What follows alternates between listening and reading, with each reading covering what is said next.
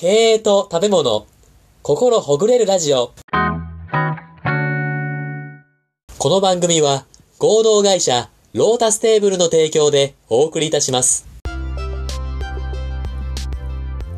合同会社ロータステーブル代表の小沼理沙が食べ物という身近な話題から経営にこじつけながら食べ物にまつわる小話、エピソード、雑談、経営の極意まで楽しくコミカルに語る明日の企業経営に活かせるトーク番組です。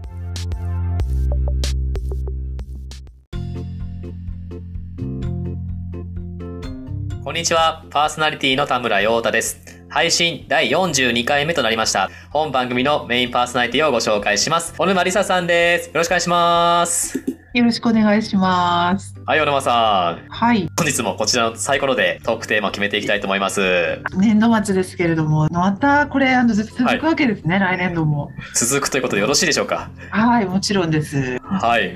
はいいきますよ、小沼さん。はい本日のトークテーマはこちらです。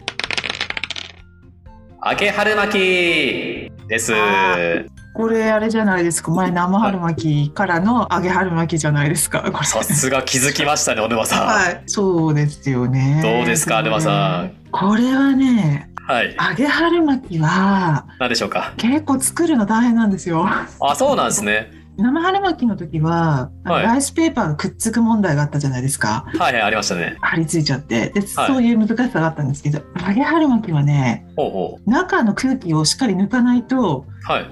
揚げた時に破裂するんですよはいはい。中の空気がバーンってこうあの跳ねてはいはい。やけどするんですよだから注意です、えー、密封されちゃって、それがボーンって空気が破裂しちゃうみたいな。そそうなんですよだからちょっと作る時に中の具を結構敷き詰めてほうほう。ちゃんとこうくるむっていう風にしないとこれね大変なことになるっていうえーところからのだから経営にこじつけるっていう話なんですけど、お願いします。中身が中身がちょっと自分で話す前に笑っちゃった中身がねはい。破裂するじゃないですかそうですね。これあの経営で言うと、はい内部からのこう反発っていうのがあるじゃないですかほう。何でしょうか？そ。れはだから揚げ春巻きをねあの春巻きを揚げた時のあのバーンって油が跳ねるのとはいはい。内部からの反発っていうのが似てません？現象があー、なんか会社内部のこう問題がこう爆発して大きくなるみたいな。ありますね。それで今ちょっとはい。こじつけようかなと思ってます、なるほど。よくありますね。なんか人間関係とかでも、それがちょっと積み重なっちゃって、ボーンと破裂しちゃったりとか、はいお金をこう隠し続けて、横領しすぎて爆発しちゃうみたいな。うんありますよね。ありますね。でまさにあの現象ははい。はい。春巻きを揚げた時のあの油が跳ねる現象とはあは似てるじゃないですか。あ そうですね。そうですね。はい。だから批判っていうのがはいはい。起こるわけですよ必ず何かやるとはいはい。新しいことやったりすると従業員からの反発とかはいはい。いやそれをいかに抑えつつほうまく仕上げていくかっていうね料理も同じですよ。跳ねる油も防御しつつ、美味しく仕上げるかっていうところがこの揚げ春巻きを作る上で重要じゃないですか。おー経営の中でも、はい跳ねるものっていうかその批判をいかにこう ハンドリングしてほうまくねこう組織っていうものを運営していくかっていうところとそう共通すると思うんですよね。うおーこじつけましたね。はい。こじつけましたこれ本 ありがとうございます。え、ちょっとはい一個質問したいんですけど、当。はい。例えばはいそうやって春巻きがこう爆発してしまうような現象みたいな形で、経営界でも春巻きみたいに、こう揚げ物として入れてしまったら爆発してしまうみたいな、経営界で例えばの現象って何かあったりするんですか？トラブルになっちゃう現象っていうか。そうですね。経営界でいう現象か。はい。揚げ春巻きが爆発するのってはいはい。中に空気が入ってると破裂しちゃうんですよね。だからはいはい空気を抜いてちゃんと包めば、おあの破裂しないと。その現象を経営に置き換えたとすると、はい、お願いしつます。まり余計なお金をいっぱい持ちすぎると反乱を受けるんじゃないですか内部で。あそうですね。これはあの相当無理くりなこじつけですけど。あ、食べ込みすぎるとやっぱりさ問題起きちゃいますからね。経営もね。そうそうそうあー程よく春巻きを巻くと、まず。そうですね。余計な空気を入れちゃいけないですよね。経営の中でも余計なスペースを持つとか、余計なそのはいスペースっていうのは要するにいらない建物とか、はいはいそういう圧縮すると、まあ、固定費とかも抑えられるわけじゃないですか。そうするとはいお金もうまく回って、経営がね持続的にできるじゃないですか。そうですね。で余計な空気を持たないっていう。おー春巻きを包む時にも丁寧にすべきっていうのもそうですし、経営会も丁寧に仕事をすると。はい。ムラがあってダメですね。春巻きも、はいはいそうですよ。あの、ムラがあると良くないんですよ。おそうなんですか？巻き方にムラとか、まあ、無駄とか、そういうのがあると、綺麗に仕上がらないですし、ほうほう。まあ形も崩れるし、はいまあ、破裂するしっていう、良くないことがあるので、はいはい。ムラと無駄をこういかにこうなくしていくかっていうところですね。おー、なんか今深い話が出ましたね。例えばですけど、あの、よく製造業とかではなんか 5S みたいな、まあ、整理整頓をしていて、ブリ無駄をなくしていこうみたいな話あるじゃないですか。会社経営で、まあ、全般的な話になってしまうんですけど、そういう日頃の経営から、その無理無駄とかをこう意識していく上でなんか必要なことってあったりするんですか？そうですね。まあ、業種とかにもよるんですよね。なんかものづくりのはいはい企業さんとかですと、必要な材料とか原材料っていうのがあって、で、それが元手になって、付加価値を高めて、それで売っていくっていう、まあ、そういうのがあるじゃないですか。でも、はいはい。サービス業とかですと、もともと原材料費とかがないので、どういうものが無駄で何が無駄なのかって見えにくいんですよね。ああ、そうですね。形がないので。はいはい。だからサービス業は結構そういう意味で言うとちょっと難しいかもしれないですよね。そのムラとか無駄とかっていうのを発見するのが。はいはい。製造業だとやっぱり日々の数値で管理して必要材料とかをちゃんとデータで管理して数値で追っていくっていうのが一番ムラとかはいはい。無駄をなくすのは効率的なのかなって思いますけど。ああ、なるほど。どうなんでしょうね。サービス業、だってあれですよ、だって田村さんだってサービス業じゃないですか。そうですね自分の仕事の無駄とかってはい。何だろうって思います？何だと思います？ああ、それいい質問ですね。僕最近はやっぱその移動時間が無駄だなっていうふうに思っていることがあって、なるほど、なるほど。僕の仕事ってやっぱ手続きをしてお客さんから毎月のお金もらうっていうのがそうなんですけど、うん要はその移動する時間っていうのは別にしなくてもよいい話なんですよね。要はうんかけなければかけないほどそのコストパフォーマンスが良くなるので、はい移動時間を少なくはしたいんですけども、はいはい。やっぱ僕も人間なので、やっぱこのずっとテレワークとか、どっか家とかで仕事するっていうのはやっぱきついことがあるので、はい移動時間をなくしつつ、こうリフレッシュができるような時間をどうやって作っていくかみたいな、それ考えてますね、めっちゃ。なるほど。あれ、移動時間か。はいそうですね。たはだ、なんだろう、私とか診断士とか、まあ、コンサル業だと、結構、まあ、移動も時には無駄だなって思うこともあるんですけれども、い。はいはい。でも、対面だからこその、やっぱり、良さっていうのも結構あるんですよね。だから、移動が必ずしも相当無駄っていういうかっていうとそうでもなかったりとかはいはい。するんですけどでも田村さんの仕事って結構我々よりもちょっと手続き業務だとかっていうのが少し多い感じですかねもしかして。そうですね。やっぱお客さんと会いつつも、やっぱこっちの会社の方でやんなきゃいけない社内的な業務も結構多いので、うんその社内業務を集中するためには、できるだけその仕事に集中したいので、移動時間をなくしたりとか、っていうのはやっぱ重要なのかなと思ったりはしますうん、ね。あはいーなるほどなるほど。か、そっかだから揚げ春巻きの空気が移動時間なわけですね。そうですね。小沼さんはこう振り返ってみて、ご自身のブリムダってなんかどんなとこがあるかってかありますか？はい。そうですね。私の移動時間は結構リフレッシュに使ってる感じなんですよ。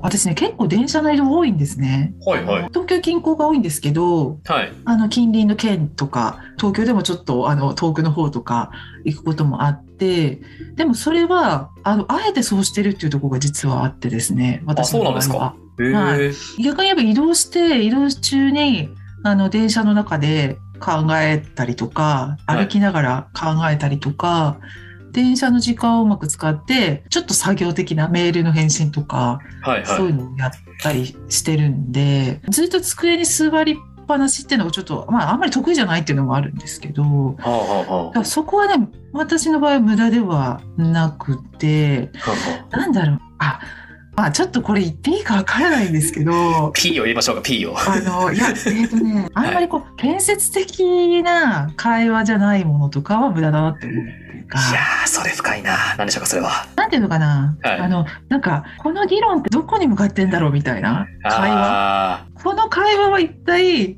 実りはあるんだろうかっていう、なんか、あ。はい。そういう議論とかあそういうのってちょっと無駄だなって思っちゃったりしますね。わかりますね、それ。ああ、これはだから、あの、それが、じゃあ、どの場面っていうと、なかなかそれ言いづらいんですよ そうですね。確かに。ありますよね。こう、何のためにこれ会議してるんだろうっていうのがちょっと曖昧で集まってるみたいな。それとか、毎月集まってるんだけど、ただ仕事でしなきゃいけないから集まってるみたいな、ありますよね。ね結構勉強会とかでもそうじゃないですか。なんか毎月の勉強会っつっても、見かけはすごいちゃんとした勉強会なんだけど、その勉強会を通じて何がどうなりたいのかっていう目標が、はいはいもうどっか消えちゃってるコミュニティとかええ勉強会ってあるじゃないですか。ええはいはい。僕ああいうの嫌いなんで、すぐ脱退しちゃうんですけど。なんか軸がねえなと思っちゃうんですけど。はいありがとうございます。ちょっと一個だけ質問したいんですけど、ちょっと揚げ春巻きからちょっと外れちゃうかもしれないですけど、よく揚げ物とかしてて、まあ、ちゃんと揚げる前のものをしっかり作ったんだけど、鍋に揚げ物入れるじゃないですか。ただなんかこう揚げてる時に、なんか急に油が跳ねることあるじゃないですか。あれってすごい、いやちゃんと作ってるのに油が急に跳ねることってあるじゃないですか。これを経営に置き換えた時に、ちゃんと経営はしてるんだけれども、なんかわかんないけど、問題が起きちゃったりとか、会社の方でちゃんとやってんのに、従業員さんの方がちょっと、もうちょっと会社しっかりしてよみたいな、結構言われたりしたりするじゃないですか。だけどそういった時の対処法っていうか、突発的なそういう油が跳ねてくるような事態の時にどうやって対処したらいいのかとか、ワンポイントアドバイスあります？これ、あの、あの、要するに、こう、想定してることに、想定外のはいこ。とですよね、それって。そうなんです。はい。油がバーンって跳ねるわけですからね。はい。これはね、はい。まあ、一つは、まず慌てないっていうことを、すごい心に言い聞かせますね。おお。その、そういう場面っていうのが、あまりにも想定外っていうか、はいはい。そういうのが起きた時に、まず何するかなってちょっと今考えたんですけど、はいはい。まず自分を落ち着かせるっていうことを徹底してますね。おでお。その時にすぐに対処法をもう決めないっていうか、えー、まあおちょっと一旦放置するっていうか、おそういうことをしてますね。あ、ちょっとゆっくり考える時間持つんですね、まず。そうですね。そこに対して、そのなんか突発的な、いきなりボーンって油が跳ねた、そのことに対して、急に、だからガス回り拭いたりとかしないっていう感じです。あの、わかりやす。すぐ対処しないですね。一体それを傍観するっていうか、はいはい。何が今起きたんだっていうふうにして、それ、あの、今、経営で置き換えると、そういう一人の多分人物だったりしますよね、きっと。あ問題社員みたいな。ちょっとそういう方ですよね。はい。そういう方って、相当イレギュラーケースで、普通のなかなかこう、コミュニケーションとか会話で、こう、対応できないっていう分類になっちゃうと思うんですね。はいはい。なので、そこにあえてこう、真正面から、こう、ちゃんと対応したりすると逆に、なんかうまくいかない気がするので、あーまあ、あの、放置？放置っていうか、離れてちょっと遠くから見るみたいなことをやってますね。ええもう分析するみたいな感じですか？冷静に。うんそうですね。ははそれやりますね。で、結局、そうしてるうちに、なんか様子がだんだん分かってくるっていうか、ほうほう。そこに一個一個反応しちゃうと、はい。もう、やけどするわけじゃないですか。そうですね。間違って水入れちゃったみたいな。水入れちゃってどうしよう、バーンみたいな。逆にね、逆になんかもう、ものすごいバーってなったら、まあ大変なって。はいはい。そういう場合は、あの、結構何もしないっていう感じですね。あなんか対処しないっていうことをしてる気がします。なるほど。うん。やっぱ経営と食べ物はやっぱ共通のところがあるんですね。ですね。だって、跳ねて、危ないって言って水かけちゃったらまたバーンってなっちゃいますし。そうですね。そうそうそう。だから、ちょっとこう、得体がわからないじゃないですか。正体がわからないものに対して、うんうんやっぱり何を適用すればいいかがわからない状態の時は、放置、ちょっと様子見っていうことをやったりするかもしれないですね。おーなるほど。ありがとうございます。はい。結構時間が近づいてきたんですけども、はい今日は揚げ春巻きのお話ということで、そうです。どうでしょうか？これは、あの 揚げ春巻きは空気がね、入ってると、揚げた時に、あの中身がこう破裂してしまうという現象を、まあ、経営に置き換えて、ほうほうやっぱこう批判に対して油にボーンと入れた時油が跳ねる姿は一つまあ批判だったり反発だったりっていう、これをいかにこうあの冷静に対応するかっていうところがこれあの経営をまあうまく進めていくために非常に重要なところじゃないかなっていうところであの今日は揚げ春巻きをですね。こんな風にこじつけてえー見ましたと。さすがでございます、小沼さん。